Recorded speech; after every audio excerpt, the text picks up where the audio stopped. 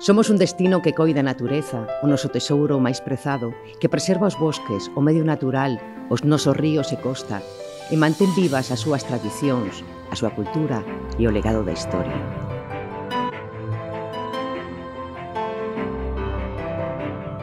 Nas Rías Baixas Pontevedra provincia apostamos por un turismo sostible que ofrece múltiples experiencias, espazos naturais extraordinarios, un rico patrimonio É unha gastronomía co mellor do mar, a terra e a vide.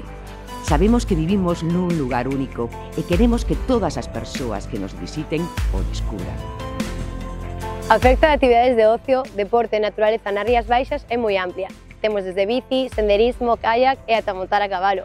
Ademais, a pasaxe que te envolve é impresionante. As Rías Baixas, provincia de Pontevedra, conta con lugares como mar, como ríos, que son ideais para a práctica de deportes náuticos e que son identidade de, desta zona. As persoas que nos visitan poden disfrutar dun entorno natural vivo e cargarse de enerxía positiva. O turismo é un factor de desenvolvemento da provincia e os nosos entornos naturais e o rural teñen infinitas posibilidades.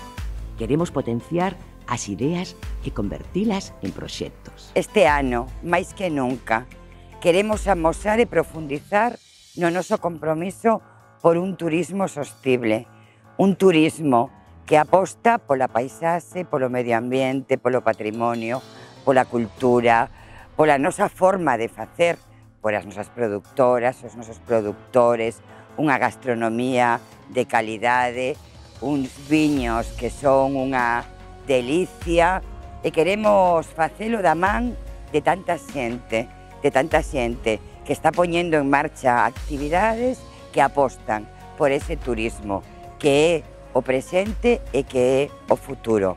Ánimo, temos que ter ánimo, temos que ser optimistas. Imos a seguir traballando, imos a seguir desenvolvendo unha provincia donde o turismo é economía, é emprego, é vida. Desde as Rías Baixas, Pontevedra, provincia, apostamos por un turismo sostible e polo desenvolvemento rural. Feliz Día Mundial do Turismo!